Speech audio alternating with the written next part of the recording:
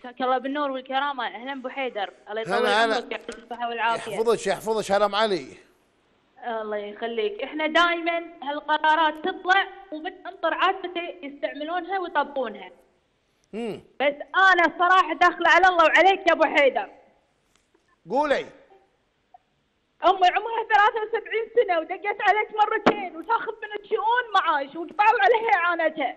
وداشة المرة ملفها شيخوخة ورحنا وعابلنا يقولون ليش التأمينات زايدين معاشها 30 دينار. زين كثر مرة كبيرة عمرها 73 سنة. ما عندها خدامة تجيب خدامة متقطع كل يوم تنظف وتمشي معاشها بالشهر 120 دينار. ما تبي سايق ما تسوق معاش السايق 100 دينار. ساكنة ب 300 دينار؟ كم صار كله؟ معاشها 500 دينار. من وين تجيب فلوس؟ من وين تعيش؟ من وين تاكل من وين تشرب مرة كنت جبت لك ولد انت يا ولد كذي حالتها انت تنطون ما عندها لا ولد ولا ثلث ولا سند أنا أروح اراكب بالوزارة من مكان لمكان عشان هذه اللي ما عندها حد ليش؟ شايفينها مرة فقيرة تركمن على ظهرها؟ أيوة إحنا نتكلم. صعد فوق رحت تكلمت على الوكيل على حياة الفعل تهاوي رحت لها وكلمته. نفس الموال تقول لا معاشها جايبين شهادة من التأمينات 600 وشيء. 600 عندها ضم خدمة ضم خدمة المرأة. يخصم من معاشها لها 530 شنو تصرف؟ شنو تاكل؟ خدامة وسايق ما لهم مصرف؟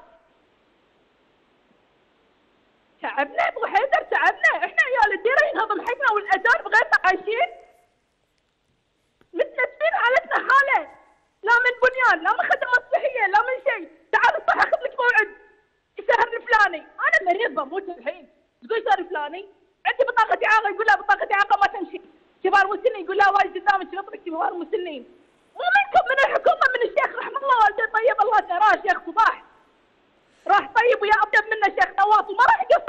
ويانا أنا اشرح المسؤولين اللي ماسكين هالإدارة. ما مروا بهالظروف ولا كان حسوا بهالشيء هذا. حرام عليكم. حرام عليكم. بيتكم أمانة. تحت ايديكم رعية. باكر يوم القيامة والله الله يحاسبكم على كل دينار تصرفونه حرام. وظلمتوا كل واحد ما أعطيتوه حقه. وين بتروحون؟ ما تشرحون. أعضاء مجلس الأمة كلهم الحين قاعد يطالعون. وشرط يسمعون كلامي. أبي واحد منهم يفزع. إحنا لما اعطيناكم اصواتنا اعطيناكم اصواتنا شادين الظهر فيكم.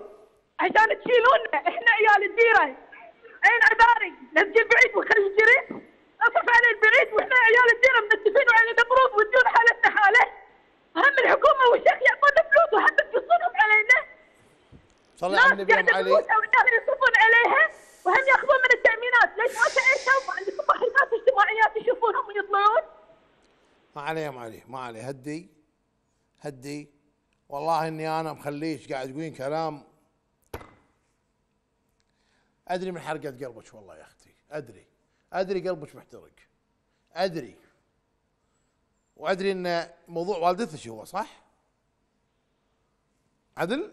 أحمد. إي نعم. و- وأنا والدتك ترى أنا بنت واحدة ما عليه،. ما عليه، بس أنا لأني أنا ما قاعد واحدة عدل. مو مقصره هذه الأم الأم تحت ريولها الجنة. بس إذا حقها اسكت عن حقها؟ ما أنت. ترضى أمك تنهضم حدا وتسكت عن ما حقها. عليه. هي موقفين الشؤون عشان خذت 30 دينار من معاش تقاعدي ودينا لهم وخطرناهم وردوا عليهم التأمينات سبب الاستقطاع. واتضح وسووا المعاش وقسموا على القايد والخدامه وبين لهم واضح. ما ما- واضح واضح يا مالي واضح. أحمد الم... بس شوي شوي عشان هي عندها 73 دين- سنة. تستلم من الشؤون عدل؟ و عشان زادوها 30 سنة 30 دينار الشؤون وقفوا ال- الراتب. صحيح؟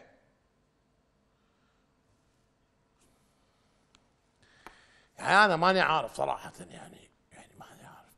يعني 73 سنة وهذه بنتها تدش تتكولف كذي. ماني أقول لك شيء يقهر وأنا هذه رسالتي لك يا أبو عبد الله. رسالتي لك يا أبو عبد الله. أنا راح أطلع البرنامج أكلم أم علي وأتواصل مع مع الوزير. ما يصير يا جماعة هذا موضوع ال... أبي أختم. بس أنا هذا موضوع لازم ضروري نتكلم فيه مليون مرة. يا جماعة ما يصير تتعاملون مع كبار السن بالطريقة هذه. ما يصير في الشؤون يصير كذي. ما يصير توقفون على أي شيء. يا عمي لا نتكلم. ناس قاعدة تستلم وهي قاعدة ببيوتها. وناس اللي عندها بدل أجار مو قادرة تأخذ هذا. ريال عمره 70 سنة ما حد يعطيه. مره مثل ام أم علي 73 ترى مو طرارة. الدولة قاعدة تعطيهم. 73 سنة تتمرمط من مكان لمكان عشان 500 دينار و... للأسف الوقت خلص.